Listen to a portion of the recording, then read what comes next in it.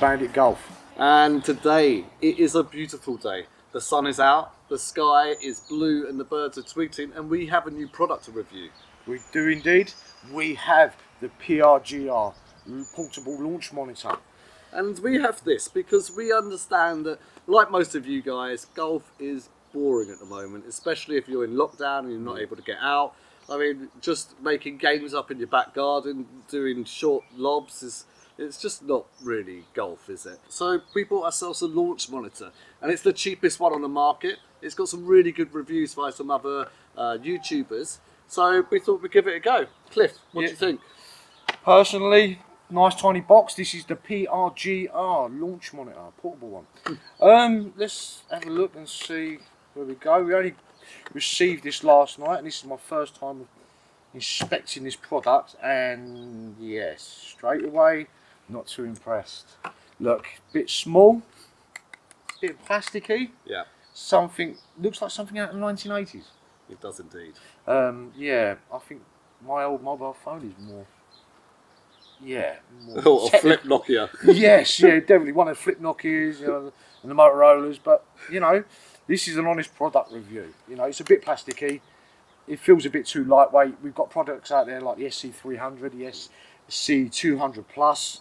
Um, okay, they are a little bit more expensive. You know, But but they do look a lot better, they they? do. They do indeed. But looks aren't everything. They're not indeed. They're not indeed. Uh, myself, I've got experience with launch monitors, with TrackMan and so on. So it'd be nice to see, you know, what the readings are of this and see how accurate it is. Um, there is people out there that have given this good reviews. We've seen some really good reviews for it from Mr. Short Game Golf and Top Speed Golf, two really good YouTube channels. We'll leave their links in the description below to this product. And uh, yeah, you know, they, they rate it really highly. We're hopefully going to give it a good old test today, and hopefully it's going to be really good. Yeah, bearing in mind we are mid handicappers, um, you know, uh, so we've got no affiliation with these at all. Yep, so we're not making any money whatsoever. Just making that clear. So the review we will give you is, you know, how we feel about this product. So yeah, let's go and hit some balls, Ash, and give this product a review. So, Cliff, why don't you hit a few balls, give this a test, and uh, let's see what it's like, eh? Yep, certainly. I'm going to go with a six iron. It's a go-to club that I use when I start out warming up. And uh, how far do you normally hit your six iron, Cliff? It ranges between, like with this, so I'm expecting between 160 to 180 at the moment and see how that progresses. We'll see how it goes. Okay, all right. Let's give it a go. We've got a camera set up on the actual PRGR, so uh, let's give it a go, Cliff. Yeah.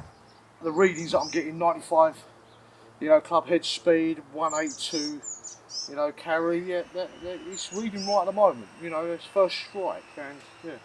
Yeah. Data seems to be, yeah, correct. Full speed 119. Looks good. Looks good. And it is set up for the uh, six iron. You are using the six iron. I'm indeed, I'm not cheating and using the four iron. Great. You look, there is six iron. And, uh, right, let's see another hit, Cliff. Let's see what it's like. Whether it's consistent. Looks a bit better than the last one for sure. Yeah, that was a bit more centre. So that was a 94 clubhead speed, 117 ball speed, and what's that? 179. 179, so yeah, it's, That's where you expect it to be. yeah.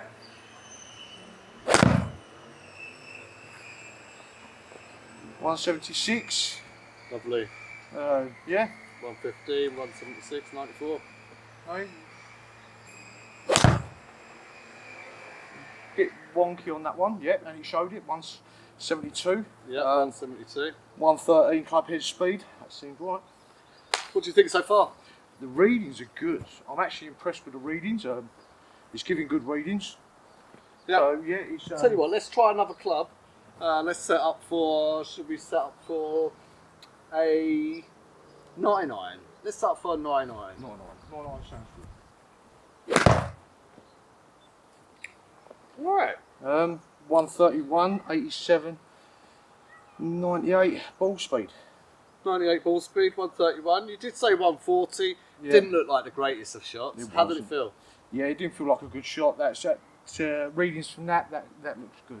You know, I like I like the numbers it is giving me. And this is so easy to change clubs. You know, I just hit one button, up and down, enter. And that's it. We're done. I mean, it's just this is pretty much. I mean, uh, it's, it's such a good little product. It is user friendly. Great shot. Great shot. Wow. Big number from this club. We have our 89 club head speed, 111 miles per hour ball speed, and a 182 Yeah. off carry distance. And that sounded really nice as well. It sounded centre, and it did sound like, let's see if we can match that again. You know, when I use this club when I'm playing a round of golf, I will use this for anywhere between 170 and 190. so Um, your, the numbers are really good off that. yeah, I'm really happy with that.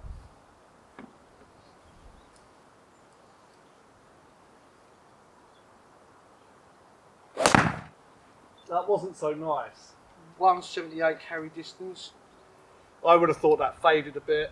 Yeah. It's probably Def- where I lost a little bit of yardage there. Yeah, definitely a bit low and a bit fading.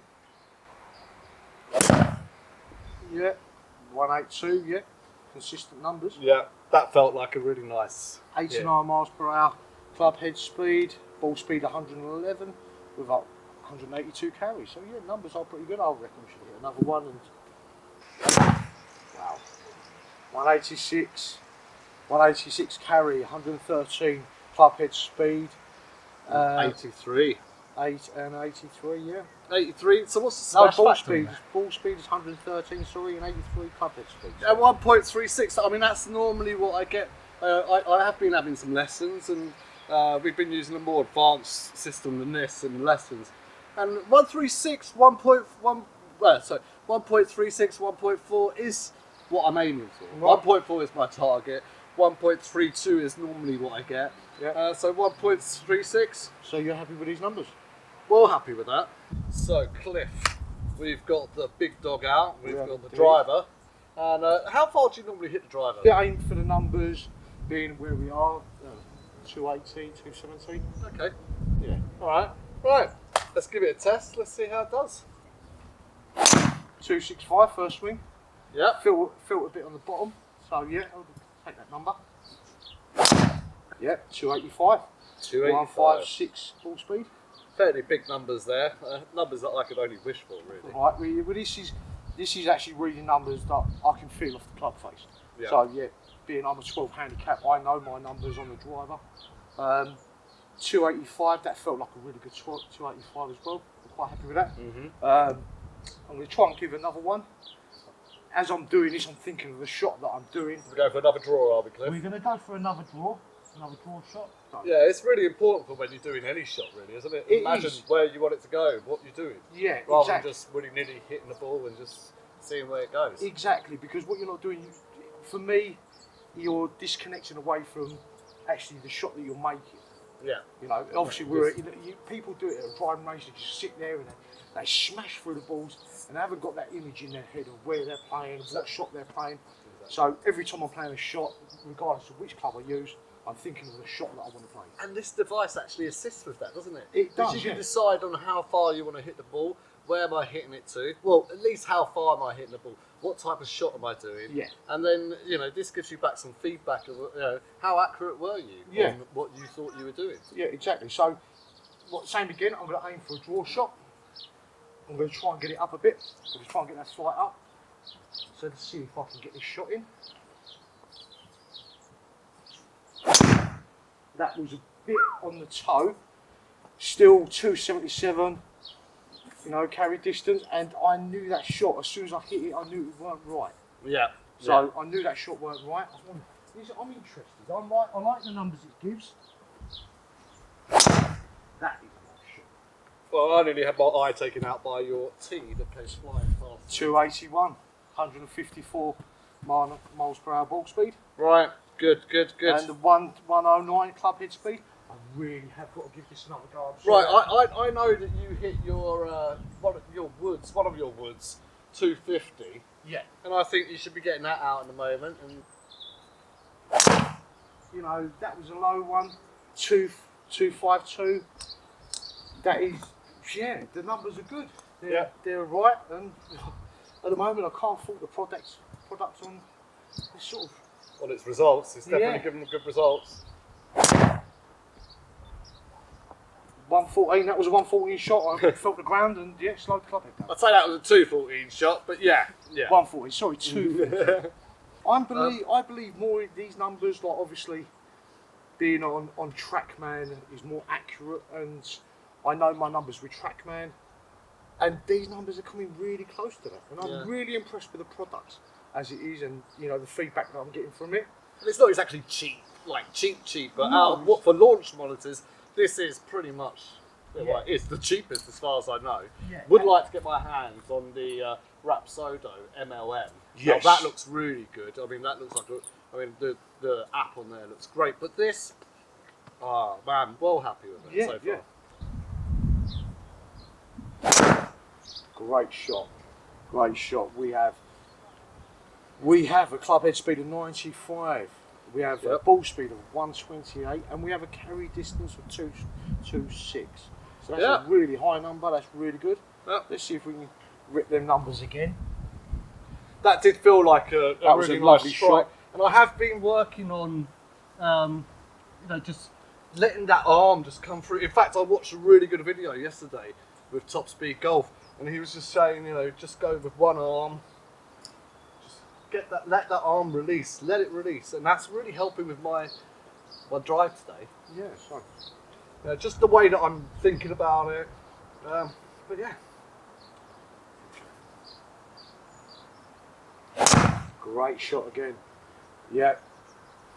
98 miles an hour. Club head speed 127. Ball speed 223. Well, carry. So uh, two, two, three carries. So I reckon you should try and hit that number again. That's really consistent numbers. Yeah, enjoying that. I just want to give it one more go. One more go. He's definitely got his 240 in his head to be. Let's see if I can really release this leading arm.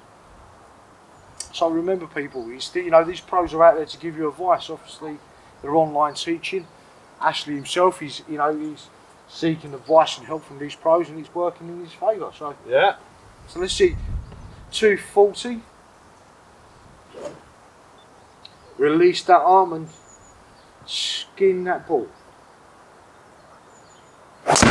Great shot. 240, there we have it. We still have a club head speed of 101, uh, you know, a ball speed of 135, and now Ashley has beat the 241 241 carry distance. Yeah, I know. That's Well lovely. done. Do you want to try and go for the 250? No, uh, I think we'll leave it there for Okay, today. right. So, are you impressed with the numbers it's given you? Definitely, really good numbers. I mean, we we have to admit we did have a bit of a struggle with uh, wedges, Yeah. and um, maybe that's because of the setup that we have here. Uh, but you know, once we got up to nine iron, it, was, it seemed to be c- catching them quite well. Yeah, it's uh, it, obviously we we played around with different wedges. Uh, my wedges are powder coated, so we thought that might be an issue. We changed. I, I got some wedges out of my stores, um, and we played with them, and he didn't like reading them either. But as soon as as I as soon as we got into nine iron and going, you know, going back down, perfect readings, perfect numbers. Um, so yeah, so the, the only flaw we find at the moment is obviously with the wedges. We don't really know why we're not getting them, Yeah. but but we're sure that there's probably is probably user fault more than anything else.